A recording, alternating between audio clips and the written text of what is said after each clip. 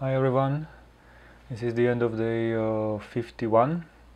So today we had uh, two finishers at uh, around 11. Uh, Surasha has finished her uh, second, second 3100 mile race. She improved her run, I think, by two days.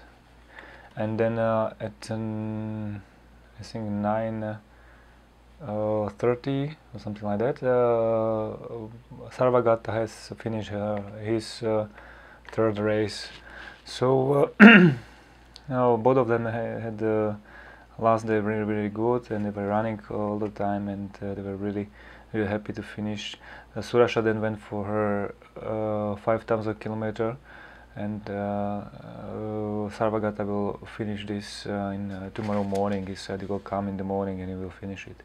So for tomorrow, Yuri should finish around 11 probably, and four hours after that, Nidruvi should should finish her first uh, 3100 mile race. So both for the, both of them is going to be their uh, first finish of this race, and it's amazing that they they could keep so strong. Uh, Yuri he's still he was running all day. He, he did uh, great uh, yesterday he had a, uh, quite a good day and today he, he, looked really good and he looked really happy when day before he, he's finished. And Idruvi uh, yesterday she had a problem with the with the muscle and today she looked much better and uh, she also looked back uh, looked really good and, and happy.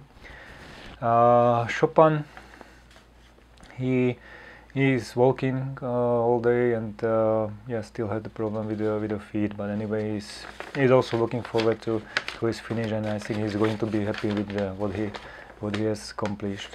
Uh, Baladev uh, most of the time of the day he was he was running. I saw him but uh, he was also walking more than yesterday.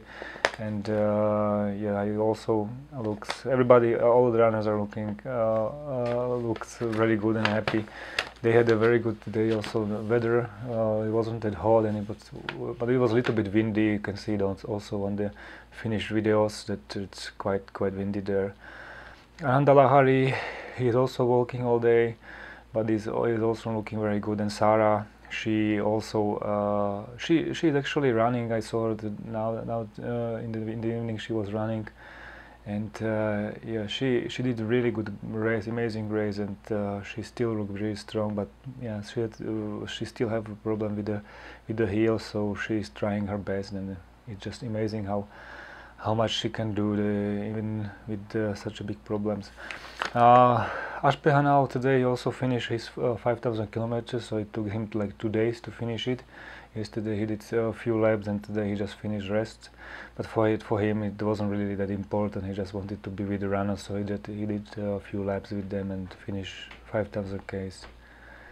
Okay, that's it for today and tomorrow is the last day of the race, so uh, it's going to be last official report maybe after that I will make one more like day after the race okay that's it and see you tomorrow